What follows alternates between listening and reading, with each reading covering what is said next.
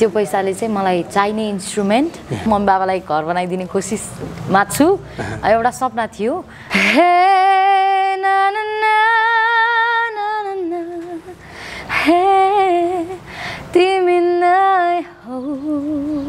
म आफू नेपाल आइडल भइनँ भने अरू बाँकी दुईजना जो जो हुनुहुन्छ नि उहाँहरूमध्ये को चाहिँ हुनुहोला जस्तो लाग्थ्यो? सबैको एन्सर त्यही हुन्छ क्या। सबैको एन्सर त्यही हुन्छ। सरको त्यो एउटा बुकले चाहिँ कतिजना मान्छेको लाइफ नै चेन्ज गराउँछ क्या सर? सजा मेरो लागि यो ठुलो एउटा गुरु दक्षिणा हो सजाका। शब्दहरू।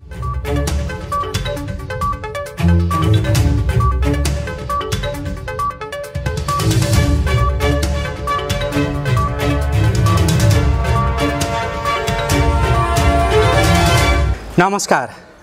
आदरणीय दर्शकवृन्द एपी न्युज यात्राको यो अर्को एउटा विशेष संवादमा यहाँहरूलाई धेरै स्वागत छ। म रोहित भण्डारी दर्शकवृन्द मेरो टेलिभिजन पत्रकारिताको दौरानमा मैले धेरै अन्तर्वार्ताहरू लिएँ तर आजको अन्तर्वार्ता म एउटा खुसीको अन्तर्वार्ता लिँदैछु। यसकारण खुसीको अन्तर्वार्ता कि आज म नेपाल आइडल सिजन थ्रीकी विजेता सज्जा चौलागाईसँग अन्तर्वार्ता लिँदैछु र सज्जा चौलागाई जो मेरो विद्यार्थी हो जसलाई मैले पढाएको थिएँ। त्यसैले पनि यो खुसीको अन्तर्वार्ता हो आजको अन्तर्वार्ता। म सज्जालाई प्लस टूमा पढाएको एकजना शिक्षक र एकजना पत्रकारका नाताले आज सज्जासँग कुरा गर्दैछु। स्वागत छ सज्जा। नमस्ते सर थ्याङ्क यू धेरै बधाई छ। थ्याङ्क यू सर एकदम। म त्यो दिन सम्झिरहेको छु सज्जा। जति बेला मैले प्लस टूमा पढाइरहेको थिएँ र त्यति बेला मैले भनेको थिएँ कि म मेरा कोही विद्यार्थीहरू यस्ता हुन् जसको मै पत्रकारिताका क्षेत्रमा नै रहिरहँदा अन्तर्वार्ता लिन पाऊँ भनेर। आज यो सौभाग्य प्राप्त भएको छ। असाध्यै खुसी छु। म पनि एकदम खुसी छु सर होइन? हजुरहरूले यसरी अन्तर्वार्ता आफ्नै सरबाट यसरी अन्तर्वार्ता लिन पाउँदाखेरि चाहिँ एकदम आफूले आफैलाई साथै सरलाई पनि होइन शिर उच्च बनायो कि जस्तो फिल भइरहेको छ। एकदमै। अ, धेरै बधाई छ। यो जुन सफलता प्राप्त भयो यो सफलताको श्रेय कसलाई?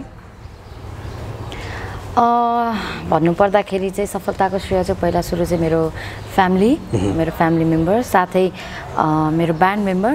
अनि त्यसपछि चाहिँ मेरो लागि जति पनि मेरो पछाडि सहयोगी हातहरू हुनुहुन्थ्यो उहाँहरू सम्पूर्णको लागि अनि हाम्रो स्कुलमा पढेको स्कुल हजुरहरू टिचरहरूदेखि लिएर म मेरो मोरङ जिल्ला पथरी शनिस्तरे साय लगायत गोकर्णेश्वर अनि त्यसपछि शङ्खरापुरा शङ्खरापुर कागेश्वरी लगायत सम्पूर्ण देश विदेशमा रहनुहुने महानुभाव जतिजना पनि हुनुहुन्छ अब के भन्ने शुभेच्छक भन्ने के शुभचिन्तक भन्ने होइन उहाँहरूलाई दिन चाहन्छु। किनकि उहाँहरूले मलाई भोट नगरिदिनु भएको भए म यहाँसम्म हुँदिनँ थिएँ। उहाँहरूले विश्वास एउटा माया म प्रति एउटा श्रद्धा नदेखाइदिनु भएको भए म यहाँसम्म हुँदिनँ पनि थिएँ। सो यो श्रेय चाहिँ हजुरहरू हेरिरहनु हुने जति पनि दर्शक श्रोताहरू हुनुहुन्छ उहाँहरू सम्पूर्णलाई दिन चाहन्छु। त्यो जब नेपाल आइडल सिजन थ्रीको विजेताको त्यो घोषणा भयो नि त्यति बेलाको अनुभूति कस्तो सज्जाको अ, त्यो चाहिँ एकदमै होइन अब यो जिन्दगीमा कहिले पनि यो कुरा चाहिँ फर्केर आउँदैन भने जस्तो नि फिल भयो होइन। अनि त्यसपछि आई मेड इट टाइपको हुन्छ नि एउटा मैले जे सोचेको थिएँ त्यो पुरा भयो। अब मेरो सफलताको सिँढीमा बिस्तारो चढ्दैछु भने जस्तो फिल भयो। अनि एकदमै खुसी पनि लाग्यो। अनि एउटा कुरा चाहिँ के लाग्यो भने मेरो फ्यामिलीको होइन इज्जत मैले जे होस् सबैको सामु एकदम मम बाबालाई शिर ठाड बनेर हिँड्न सक्ने बनाएँ। अनि त्यही हो अब एकदम खुसी छु। अहिलेसम्म पनि खुसी नै छु। तर सेलिब्रेसनहरू त गर्नु पाएको छैन किनकि अलिकति खल्लो चाहिँ? भयो तर पनि त्यो खल्लोलाई त्यो दिनको रिजल्टले काटिदियो क्या। जब जब त्यो विजेता बनियो नि विजेता भएको घोषणा भयो त्यस यताका दिनहरू चाहिँ कसरी बिते? मसँग आज पहिलो अन्तर्वार्ता हुँदैछ सज्जाको। हजुर, होइन यो। बिचमा कसरी बिते कसरी भन्दाखेरि पहिला सुरु त हाम्रो पिआरसी पिसिआरको रिजल्ट पनि आएको थिएन। सो इन्टरभ्यूहरू कसैलाई दिएको पनि थिइनँ तर फोनबाटै कतिजनालाई चाहिँ फोनबाटै पनि इन्टरभ्यूहरू दिएँ हल्का फुल्का अनि कतिले लाइभ इन्टरभ्यूको लागि फोनहरू गर्नुभएको थियो। अनि आफू सतर्क आफ्नो रिजल्ट नआइन्जेलसम्म दिनु मिलेन नि त। अनि त्यही भएर दिइरहेको थिइनँ। तर कल्सहरू एकदमै धेरै आइरहेको थियो। एकदम आफूले आफैलाई होइन त्यो काममा बिजी नभए तापनि फोनमा चाहिँ धेरै बिजी भएँ म एकदमै तिन चार दिनमा चाहिँ। फोन अन्तर्वार्ताहरू भिडियो। अन्तर्वार्ता आज आफ्नै सरबाट एकदमै एकदमै खुसी छु म पनि त्यत्तिकै खुसी छु सजा जस्तो अब मैले यो यो बिचका दिनहरू जस्तो पिसिआर त्यो रिपोर्ट जब आयो भनौँ आइसकेपछि त त्यो नेगेटिभ रहेछ। हामी सबैमा त्यो खुसीको त्यसपछि पनि सीमा रहेन हजुर। र यो बिचका दिनहरू चाहिँ कसरी बिताइयो? के के गरियो? फोन आउने फोन रिसिभ गर्ने फोन रिसिभ गर्ने अनि त्यसपछि फ्यामिली मेम्बरहरू भेट्ने अब मलाई जो सहयोग गर्ने हातहरू जति पनि हुनुहुन्थ्यो उहाँहरू सम्पूर्णलाई भेट्ने होइन? फेसबुकमा अहिले त्यति एक्टिभ हुन पाएको छुइनँ। फेसबुक इन्स्टाग्राममा त्यति एक्टिभ हुन पाएको छुइनँ किनकि टाइम दिइरहन पाएको छुइनँ त्यसमा। बाहिरको कुराले अब यस्तै अब भेटघाटको कार्यक्रम नै सकिरहेको छैन। सो त्यसरी नै बिजी भइरहेको छु। हल्का फुल्का एक दुईवटा प्रोजेक्टहरूमा अलिकति त्यही हो।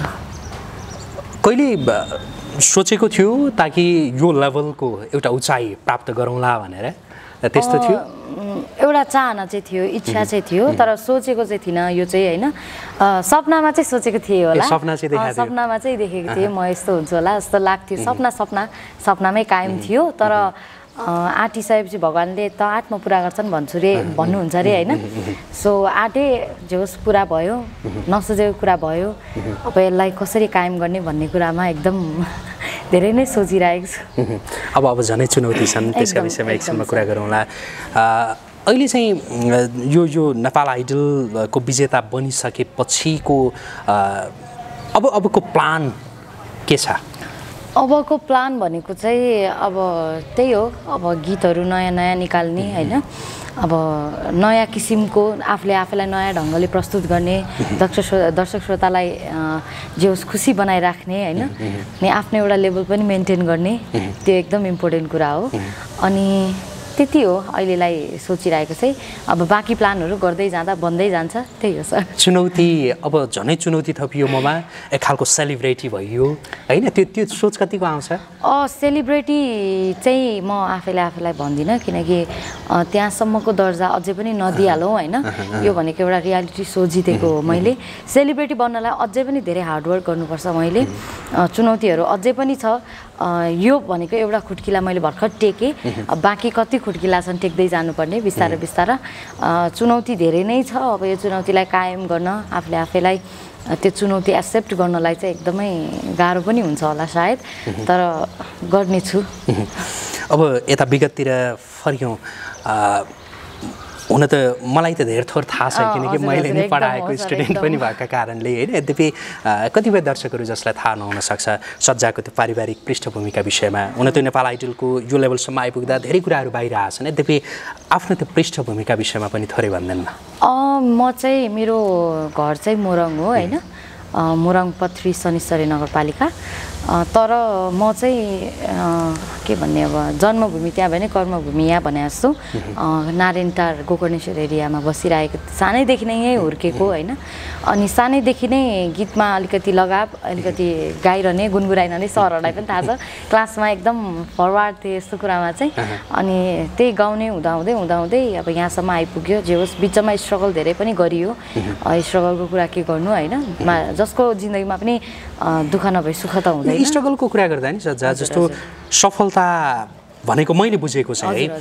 त्यो अभाव भयो भनेदेखि चाहिँ अनि सफलता प्राप्त हुने रहेछ क्या र हो, भने जस्तो लाग्छ। जस्तो मैले कहाँ जोड्न खोजेको भने मानिलिउँ सज्जाको आर्थिक पृष्ठभूमि एकदमै राम्रो हुन्थ्यो भनेदेखि सायद जुन पछिल्लो समयमा के रेस्टुरेन्टतिर त्यो के लाइभ म्युजिक होइन? हजुर, हजुर, लाइभ म्युजिक। त्यसका लागि सायद गइँदैन थियो पनि होला कि? गइँदैन गइँदैन थियो होला भन्दा पनि गइँदैन थियो नै। अन्त? त्यो गइरहने जरुरत पनि त पर्दैन थियो। पर्दैन थियो। अब यो कुरा चाहिँ कस्तो भयो भन्दाखेरि आफ्नो डेली रुटिनलाई पनि अगाडि बढाउनलाई प्लस आफ्नो प्यासन प्यासनलाई पनि अगाडि बढाउनलाई चाहिँ यो छानेको हो। यसमै लागि परियो यसलाई पेसा पनि यसलाई नै बनाइयो होइन? आफ्नो प्यासनदेखि लिएर सबै कुरा यसलाई बनाइयो। मैले मैले चाहिँ मैले मलाई चाहिँ किन किन त्यो सोधेँ भने जस्तो मानिलिउँ आर्थिक पृष्ठभूमि एकदमै राम्रो हुन्थ्यो भनेदेखि त्यहाँ गइँदैन थियो त्यहाँ नगएको भएदेखि त्यो दैनिक रूपमा गाइँदैन गाइँदैन? थियो। यहाँ यो लेभलको हुँदैन थियो। गाउन चाहिँ गाइन्थ्यो तर बाथरुम सिङ्गरमै टुङ्गिन्थ्यो किन। त्यस्तो पनि हुनसक्थ्यो त्यो लाइभ म्युजिकले पनि सपोर्ट गर्यो। लाइभ म्युजिकले धेरै नै सपोर्ट गर्यो धेरै नै। जुन ममा एउटा कन्फिडेन्ट लेभल छ त्यो चाहिँ लाइभ म्युजिकबाट नै आएको हो होइन? किनकि लाइभ म्युजिकमा हरेक दिन धेरै खालको मान्छेहरूको अगाडि धेरै दर्शक श्रोताकोमा अगाडि गाउनुपर्ने हुन्थ्यो। अनि त्यो गाउँदाखेरि चाहिँ कति कम्प्लिमेन्ट्सहरू आउँथ्यो त्यसले नै आफूलाई झन् स्ट्रङ बनाउँदै जा गइन्थ्यो क्या। त्यो कुराहरूले एकदम स्ट्रङ त्यसलाई समातेर अझै राम्रो गर्नुपर्छ भन्ने एउटा सोच थियो। म लगायत मेरो ब्यान्ड मेम्बर सबैको त्यही सोच छ। त्यो सोच थियो। अनि अब त्यसरी नै कन्फिडेन्ट लेभल बढ्दै गयो। बढ्दै गएपछि आइडलको स्टेजमा गएर त्यो ब्यान्ड ब्यान्डको नाम नाम के मेरो ब्यान्डको चाहिँ द लोडिङ। भन्न चाहेँ द लोडिङ यो ए प्लस टूमा पढ्दाकै बखत एउटा ब्यान्ड हामीले बनाउँदैछौँ नि सर के हो भने त्यही ब्यान्ड नै हो नि। एकदम एकदम एकदम त्यति बेला- जानकारी भएको हो, थियो। हो। त्यही ब्यान्ड हो सर। अ, त्यति बेला पनि मलाई लागेको थियो ताकि यो जुन एउटा ब्यान्ड बनाएर हामी अगाडि बढ्दैछौँ नि सर। भन्दाखेरि राम्रो हुन्छ भन्ने। त्यो मलाई लागेको थियो त्यतिखेरदेखि नै हाम्रो प्लान पनि थियो। अनि त्यतिखेरै हामीले सबैजना मिलेर कुरा गरेर ब्यान्ड मेम्बरहरू सबैजना भेटघाट गरेर स्टार्ट गरिहाल्यौँ क्या। अब त्यतिखेर स्टार्ट नगरेर भोलि भोलि भने भए त भोलि बाद हुने रहेछ। तर त्यतिखेरै स्टार्ट गऱ्यौँ जे होस् अहिले यहाँ छु एकदम म लगायत सम्पूर्ण मलाई चिन्नुहुने सम्पूर्णको शिर एकदम ठाडो छ जस्तो लाग्छ अहिले चाहिँ। अनि यो नेपाल आइडलमा चाहिँ जाउँ भनेर कसरी लाग्यो कसले भन्यो कि या के भयो चाहिँ? नेपाल आइडलको कुरा चाहिँ छुट्टै छ। कस्तो थियो भने हामी गिग्समा थियौँ। गिग्स गर्दाखेरि मेरो किबोर्डिस्ट दाइले अँ, नेपाल आइडलको अडिसन भइरहेको रहेछ नि तिमी जाऊ न भनेर भन्नुभयो क्या। अनि त्यसपछि मैले हुन्छ नि त जाऊँ न त अडिसन भइरहेको रहेछ जाऊँ कहाँ हो भनेर भन्यौँ। अनि बानेश्वरे बानेश्वरमा छ जाऊँ भनेर भन्नुभयो। अनि त्यसपछि हाम्रो गिटारिस्ट बानेश्वरमै बस्नुहुन्छ। अनि गिटारिस्टलाई अनि के भन्यौँ भने तपाईँ गएर लाइन बस्दै गर्नु म बिहानै आउँछु। लाइनमा चाहिँ जे होस् बस्दिनु टिकट लिएर राखिदिनु भनेर बिहानै गिग सकेर गएर सुतेर बिहानै उठेर गएको थियौँ। अनि त्यसरी नै प्रि जजमा सेलेक्ट भयो। त्यसपछि जज राउन्डमा अलिकति डर लागिरहेको थियो। जजमा पनि सेलेक्ट भयो। होस् त्यो ब्यान्ड मेम्बरले नै एकदम सपोर्ट गर्नुभयो त्यसको लागि चाहिँ। तिमी जानै पर्छ भनेर एउटा फोर्स गर्नुभयो क्या। त्यतिखेर चाहिँ। त्यो म्युजिकको ट्रेनिङहरू हुन्छ नि गायनको ट्रेनिङहरू त्यस्तो लिइरहेको थियो कि थिएन? त्यस्तो चाहिँ मैले औपचारिक रूपमा चाहिँ लिइरहेको थिइनँ सर। किनकि पहिला पनि स्कुलहरूमा त्यही सरहरूले हाम्रो म्युजिक टिचरहरूले सिकाएको भरमा हो। त्यसरी लिइरहेको चाहिँ थिइनँ मैले म्युजिक क्लासहरू लिएको थिइनँ। पछिल्लो समयमा चाहिँ त्यस्तो औपचारिक क्लासहरू लिनुभयो कि लिनुभयो होइन लिने सोचेको थिएँ तर त्यस्तै भयो। केही मिलेन अनि त्यसपछि लिन। भनेपछि यो तपाईँले जुन एउटा उचाइ प्राप्त गर्नुभयो जुन सफलता प्राप्त गर्नुभयो औपचारिक शिक्षाले मात्रै पनि नहुने रहेछ होइन? यो कुरा चाहिँ? म के भन्छु भन्दाखेरि कति कुरा पढेर सिकिन्छ कति कुरा भोगेर सिकिन्छ नि त। मैले चाहिँ भोगेर सिकेको छु क्या मैले चाहिँ डेली यसलाई नै डेली रुटिन बनाइसकेपछि दिनकै मैले गाउँदा गाउँदै गाउँदा गाउँदै आफूले आफूलाई अपग्रेड गरेर म यहाँसम्म आइपुग्न सफल भएँ। म क्लासहरू गएको थियो भने पनि यहाँसम्म हुन्थेँ कि हुँदिनँ त्यो थाहा थिएन। तर मैले जे होस् गिग गरेर चाहिँ आफूले आफैलाई एकदम अपडेट गराएँ। सो यहाँसम्म छु। जे सिकेँ मैले गिग्समै सिकेँ भनौँ न। त्यो नेपाल आइडलमा जाँदाखेरिको त्यो अडिसन राउन्डको त्यो पहिलोपल्ट गाएको त्यो गीत सम्झना पक्कै छ? एकदम। त्यो गीत अलिकति गुनगुनाइदिनु न। धेरै गुनगुनाइसकेँ यो गीत जेमा पनि तर पनि अब हजुरहरूको लागि।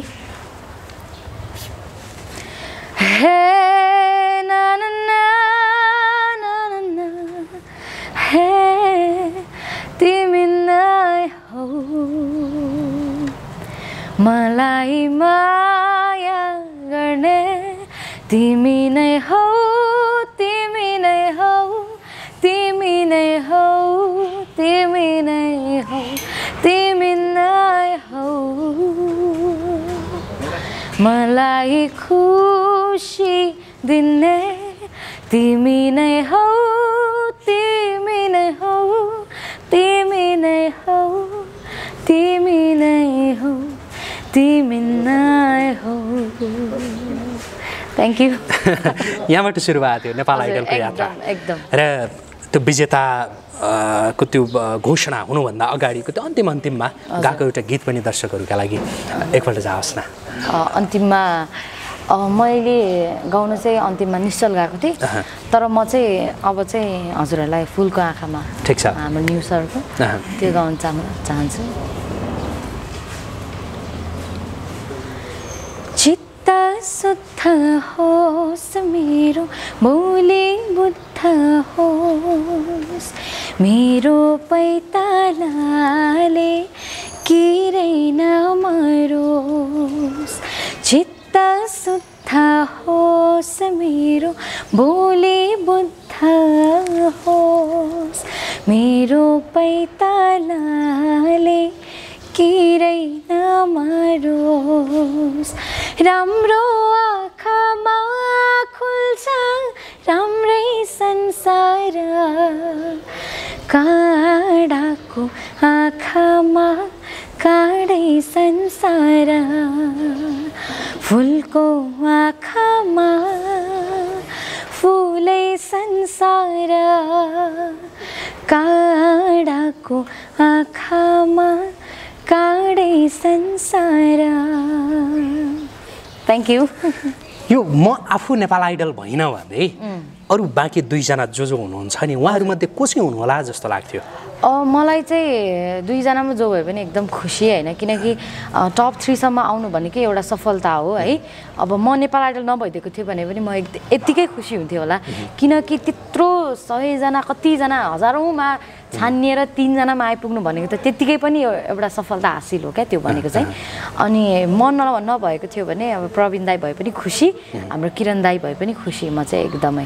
दुईजना एकदमै आफ्नो आफ्नो एउटा जर्नमा एकदम स्ट्यान्ड एकदम लेभल एकदम राम्रो छ उहाँहरूको। सो म नभए दुईजनै जो हुँदा पनि एकदम खुसी म चाहिँ। कति पचास लाख पुरस्कार होइन नेपाल हजुर। अब त्यो पचास लाख के गर्ने त्यो पैसा अब? पहिला सुरु त पचास लाखमा पच्चिस पर्सेन्ट भ्याट काट्छ होइन? लगभग थर्टी सेभेन लाख यस्तै यस्तै आउँछ होला। अनि आय अनि त्यसपछि पहिला सुरु चाहिँ त्यो पैसाले चाहिँ मलाई चाहिने इन्स्ट्रुमेन्ट मेरो म्युजिकको लागि मैले त्यो पैसाबाट मैले के गर्न सक्छु? त्यो कुरामा चाहिँ पहिला सुरु अगाडि बढ्छु। रेकर्डिङहरू त्यो पैसाले अब म्युजिक भिडियोहरू होइन? कसरी हुन्छ त्यो गर्छु। अनि बाँकी पैसा चाहिँ अब आफ्नो फ्यामिली मेम्बरलाई अलिकति फ्यामिली मेम्बरको पनि स्ट्यान्ड मेन्टेन गरिदिनलाई। त्यही हो। मम्मी बाबालाई घर बनाइदिने कोसिसमा छु। एउटा सपना थियो। मम्मी बाबालाई एउटा घर बनाइदिने चाहिँ। अरू केही गर्न नसके पनि एउटा टक्क बनाएर मम्मी बाबालाई चाहिँ खुसी साथ राख्ने। त्यो पनि अब बिस्तारो बिस्तारो पुरा गर्ने कोसिसमा छु पुरा गर्दै जान्छु।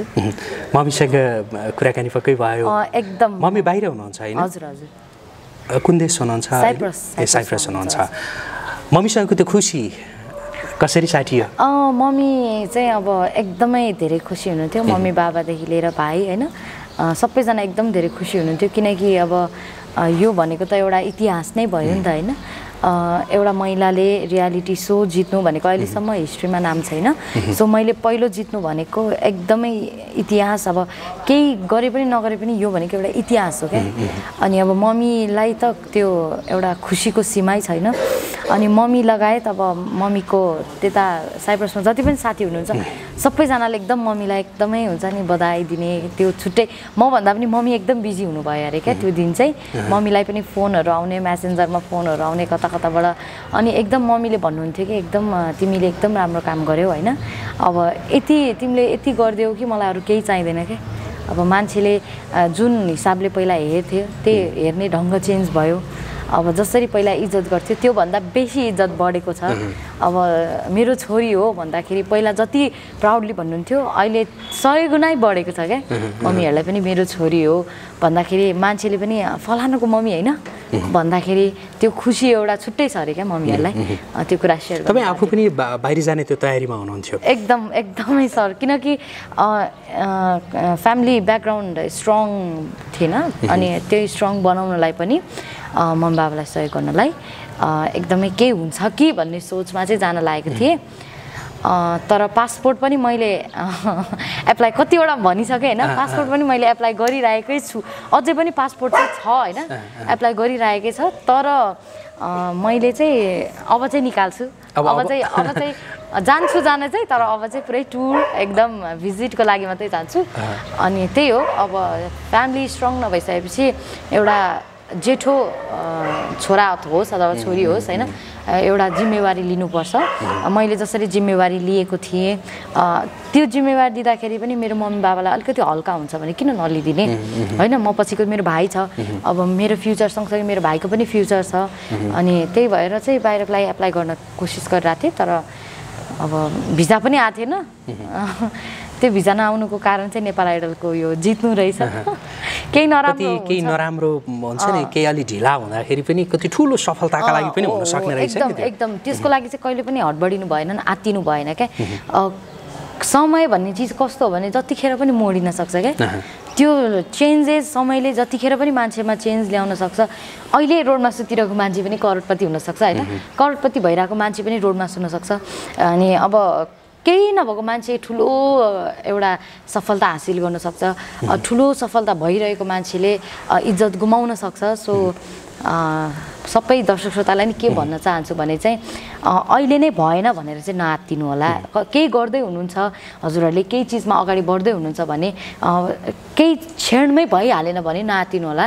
किनकि केही राम्रो कुरा हुनलाई समय त लाग्छै लाग्छ कि मैले चाहिँ त्यो नेपाल। आइडलबाट पाएको त एउटा सफलता भयो। अर्को सिकेको पाठ चाहिँ के हो एउटा चाहिँ के सिकेँ भन्दाखेरि धैर्य क्या। नेपाल आइडलबाट धैर्य। जुन हाम्रो त्यो रिजल्ट सुनाउने बेलामा एकदम डर हुन्थ्यो। तर पनि मनमा विश्वास एउटा उहाँहरूले जे होस् एउटा हिम्मत नहार्ने अब के भन्छ अब हरिस नखाने त्यो सिकाउनु भयो एउटा आफूमा कन्फिडेन्स लेभल एकदम बढाइदिनु भयो। साथै अब यसरी इन्टरभ्यू अब इन्टरेक्सन होइन अब हाम्रो दर्शक श्रोतासँग इन्टरेक्सन गर्न अब यसरी बोल्न अनि त्यसपछि आफूले आफूलाई ग्रुमिङ गर्न त्योदेखि लिएर आफ्नो कन्फिडेन्ट लेभल बढाउन स्टेज पर्फर्मेन्सदेखि लिएर क्यामेरासँग इन्टरेक्सन गर्न यो सबै कुरामा हामी अन्जान थियौँ नि त योभन्दा अघिल्लो दिनमा। तर नेपाल आइडल आइसकेपछि चाहिँ यो चिज चाहिँ उहाँहरूले एकदमै सिकाइदिनु भयो क्या।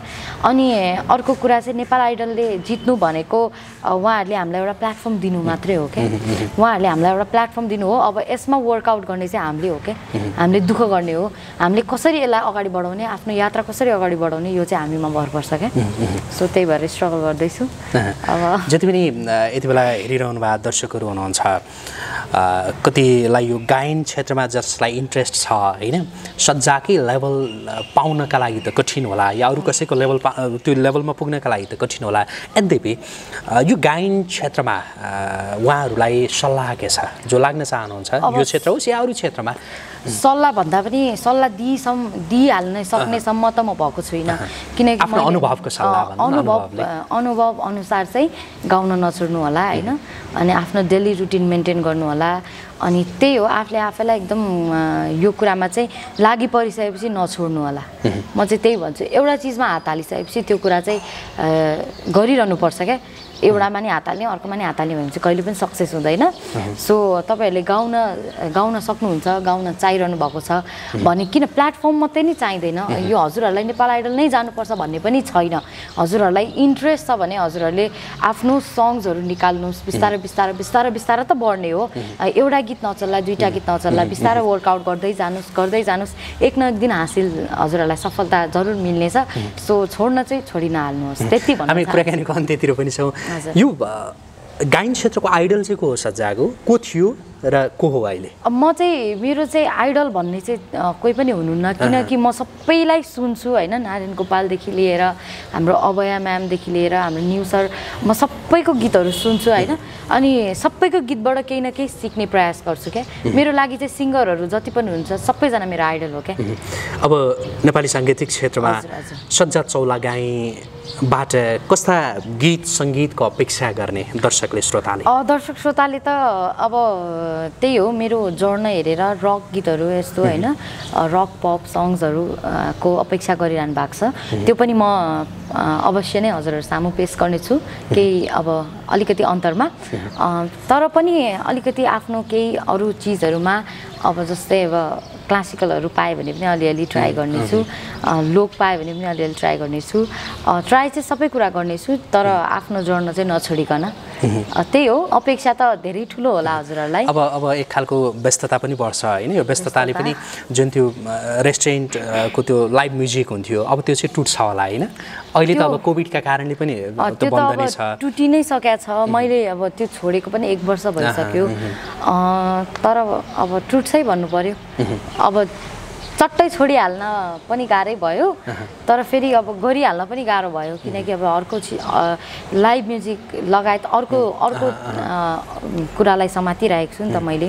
आफ्नै एउटा सङ्ग्सहरू निकाल्ने आफूले आफूलाई इस्टाब्लिस गर्ने।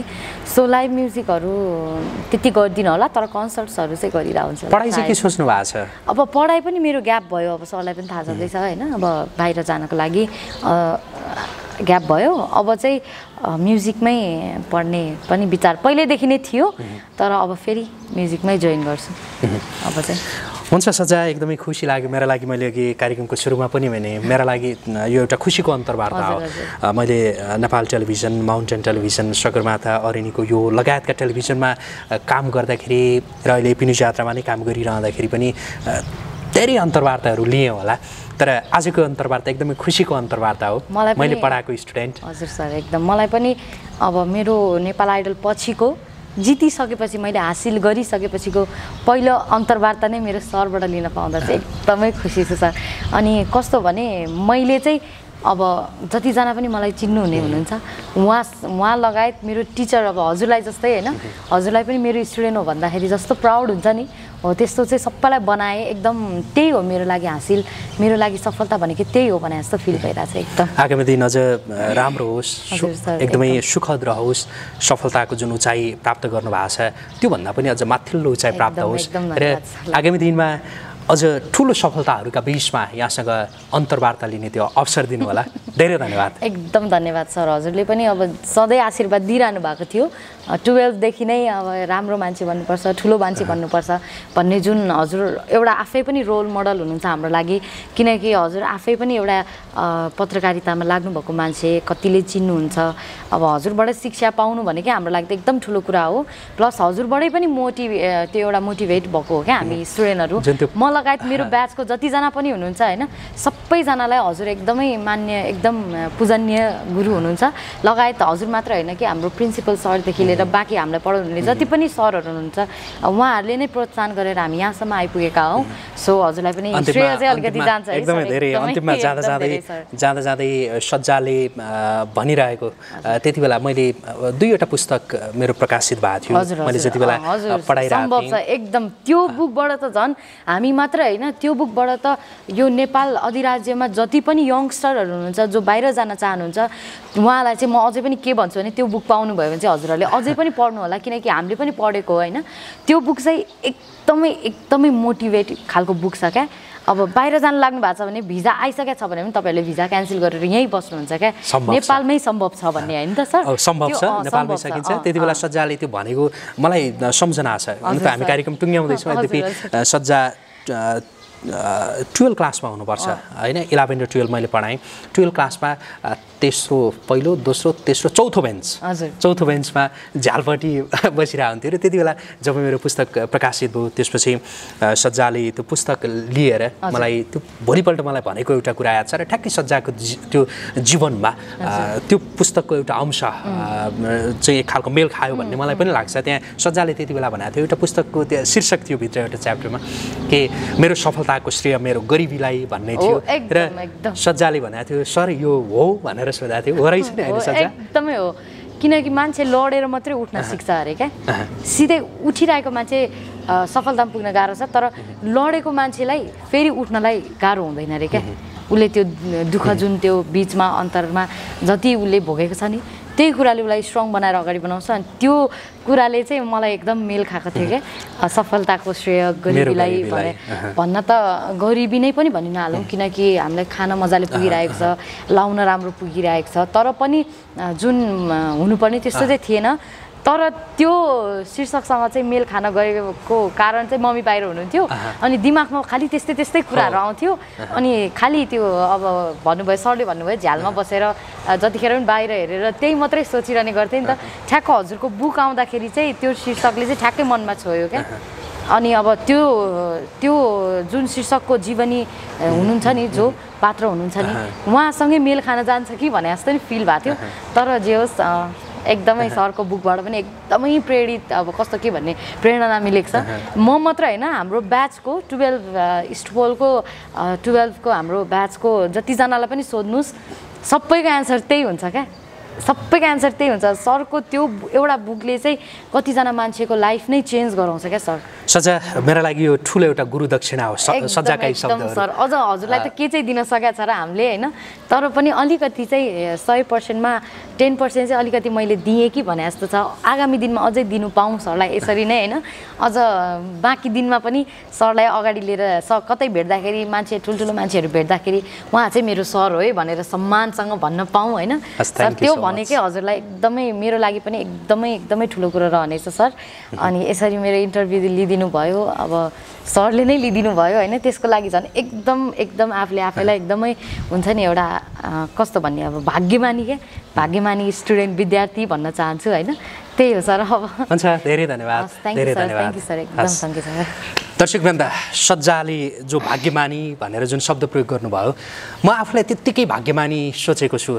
मैले अघि नै पनि भने मेरो पत्रकारिताका दौरानमा मैले थुप्रै अन्तर्वार्ताहरू लिएँ मेरो टेलिभिजन पत्रकारिताका दौरानमा तर आजको अन्तर्वार्ता एउटा खुसीको अन्तर्वार्ता हो र यी र यस्ता अन्तर्वार्ताहरू सधैँ लिइरहन पाइयोस्। यही कामना। हस् त आजका लागि एपी न्युज यात्राको विशेष संवाद यहीँ सकिन्छ। एपी न्युज यात्रा सँगै रहनुहोला। नमस्कार।